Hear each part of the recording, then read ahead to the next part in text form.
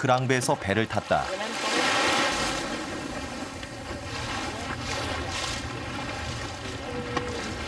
모리셔스 제1의 수입원은 관광이다.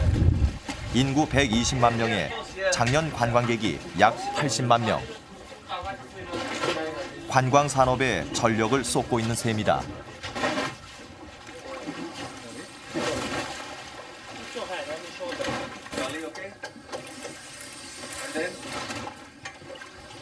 Equalize, swallow, okay? To let it there. 어릴 적에 보았던 잠수부 헬멧을 쓰고 꼬마가 조심스럽게 바닷속으로 들어간다. 산소를 공급하는 호스가 탯줄처럼 연결돼 있고 그 옆에서 수중 촬영도 해준다. 시 워킹이다.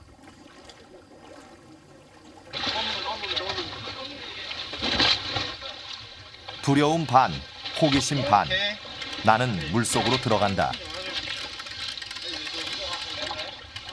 물속 세상은 또 어떤 모습일까?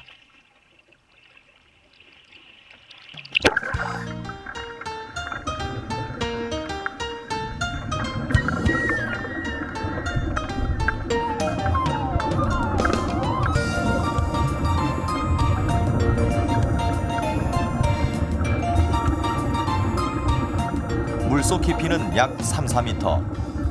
물고기들이 얼굴을 부딪히고 귓볼을 간지럽힌다. 우주 유형처럼 물속에서 점프하다 넘어지기도 한다. 색다른 체험이다.